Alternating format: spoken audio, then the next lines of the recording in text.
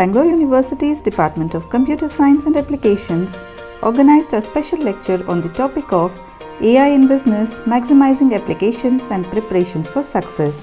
The event featured Mr. Asad Haque, founder and CEO of Cypher, an AI and ICT consulting firm. Registrar Bangalore University Sheikh Latif, KAS highlighted the need for lectures on the latest topics considering Bangalore University's position as the nation's third best university after JNU and Jamia Millia. This emphasis reflects the university's commitment to staying at the forefront of education. We are having the excellent faculty members, uh, professors. We are the NAAC A++ graded. In India, we are the third best university, next only to JNU and uh, Jamia Millia. Now the bridge gap which is to be bridged is uh, the interface between the academy and the industry.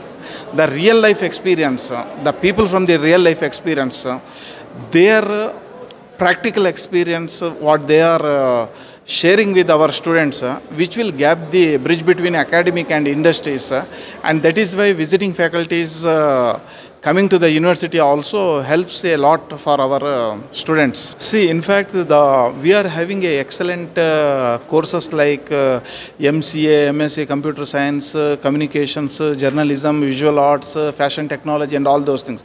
These are all the what is the need of the hour of the industries. So, for the need of hour of the industries, where theoretical and project oriented and academic uh, we are having excellent faculty. And the industries those who are coming here more and more peoples uh, i would like to uh, bring the visiting faculty. They are most of the people are our alumni are uh, they are uh, spread all over the world. So it will be a homecoming to their mother institutions and they will be happy to come. Those thing identifications and alumni status improvement uh, that is there in my mind to uh, improve for the university actually. The lecture attracted a diverse audience interested in understanding how AI can transform businesses.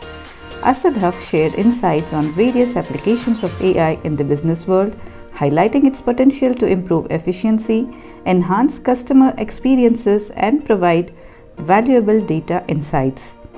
The lecture emphasized the need for businesses to stay informed and adapt to the rapidly changing landscape of AI.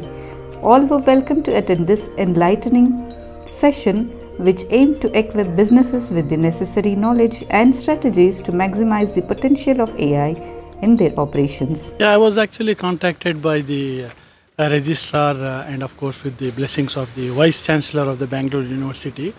Uh, I, uh, Asad Haque, as an alumni of uh, Bangalore University, where I completed my engineering in 1989 from Bangalore University. So I had the privilege of talking to the graduates and the postgraduate students of the AI and the computer science, you know, faculty uh, and the students. I was really uh, thrilled to see that the kind of knowledge the uh, kids have here in Bangalore, in India, the kind of acumen, the kind of enthusiasm they have, uh, you know, in uh, producing uh, new AI applications, algorithms, uh, apps is something uh, uh, worth noting. So I did share my experiences as an alumni of the university. You know, I shared my 34 years of experience right from the day you know I was hired at Infosys in 1989 by Mr. N.R. Narayan Murthy and Nandan Nilekani. I still remember that day where I started my career. Though a mechanical engineer, I got into the mainstream IT business uh, because of Infosys, and uh, the next one two years I was groomed by them. So till today, I'm in the same uh, uh, you know business of uh, IT as an entrepreneur. So we do a lot of uh, work in the Middle East. We've also done some work in India in the past. The, the work in India was mainly to train students during the COVID and the pandemic period. But uh, of course, on the Middle East uh, scale, based in Dubai, we do a lot of work in uh, AI, in new platforms, blockchain, metaverse. Then, of course, you know everything to do with networking, ERP software. Uh, a whole lot of system integration work we do. Oh, it was a very interactive session, and uh, like I said, students were asking a whole lot of uh, practical questions because they are now graduating or super graduating and going into the real world for jobs.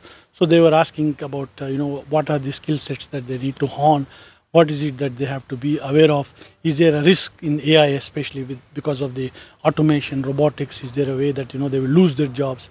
How should they protect their jobs? So i gave them various uh, ideas and various uh, clues and uh, practical exposure and experiences that i have narrated to them that it's only more opportunity coming up their way Best, there is a challenge to keep to keep you need to keep learning you need to keep enhancing uh, your skill sets. And there are so many ways to you know keep working and uh, enhancing your knowledge base through you know the internet through youtube to online portals. Uh, there's a lot to be i am you know a senior person having 34 35 years of experience. Still today i keep learning new things so that keeps me also challenged like i said there is a chance like especially the uh, rudimentary jobs where there is assembly of cars where you know the environments are difficult for a human being to work around the clock robots will take over, have taken over in production of cars, in you know difficult hazardous conditions. But yes, this has also given an opportunity in other areas where there is programming, where there is uh, you know management of these uh, systems, these AI automation uh, processes to be managed. So yes, there is a new skill set for the uh, people who are on the job to learn, to upgrade themselves, and keep moving. And yes, the youngsters have a better opportunity, uh, more uh, more options of new jobs everywhere you see the AI has infiltrated uh, from day to day social life to uh, practical life to banking to education to internet to everywhere.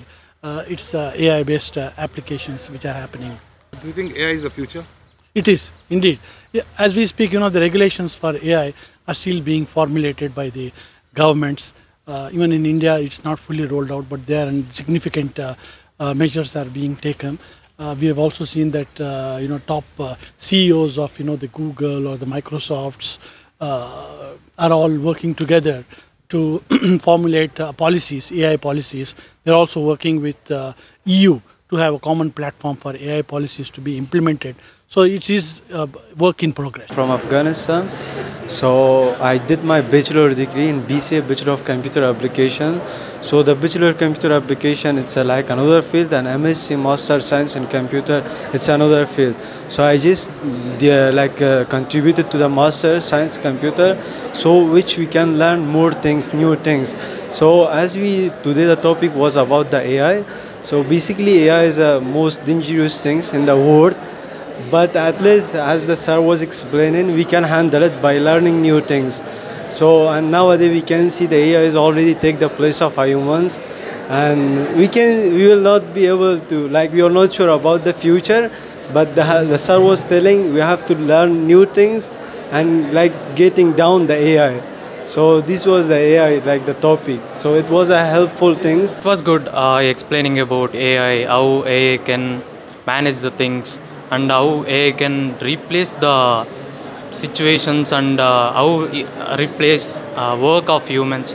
And it was good and he interact with the students. If you are smart enough if you have a threat that ai will take your job or job of a department then those people have to get more alert. They have to get sharper